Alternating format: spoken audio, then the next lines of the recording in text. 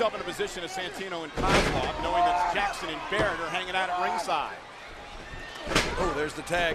Was it a tag? I believe a tag was made. Uh, yes. Kozlov now the legal man. And there against the one-man rock band. Heath Slater is getting rocked right now by Kozlov.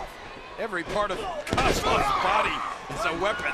His headbutts. Uh-oh, Oh, there you go. You mentioned it earlier. Wade Barrett getting involved just for a second, allowing no Heath Slater to get the advantage. The one-man rock band tagging in Justin Gabriel, and guess what's next, folks?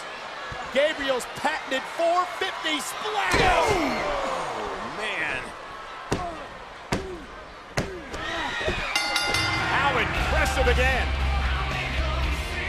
No winners of this match, the WWE Tag Team Champions, Heath Slater and Justin Gabriel. Slater and Gabriel dominated that match without any uh, outside interference. Any oh, now look at now this is where the Corre is so dangerous.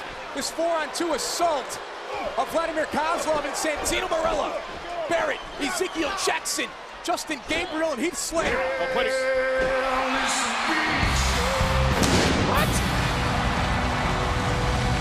The Big Show and Kane! Oh, man, the world's largest athlete, the Big Red Monster. Retribution and payback for this past Friday night. And here we go! An explosion on Raw! Justin Gabriel out on the floor and in the hands of Kane and uh, Oh, wow, man! Justin Gabriel upside down into that wall. Pure intensity from the Big Show and the Big Red Monster. Wow, Kane rocking Wade Barrett. The Big Show with a knockout punch. Knockout punch. And the now turning his attention on Jackson. Oh, Kane taking care of Wade Barrett. Heath Slater is out.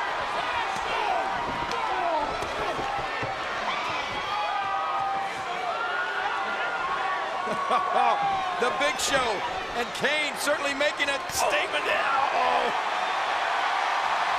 Ezekiel going for a big ride. The world's largest choke slam!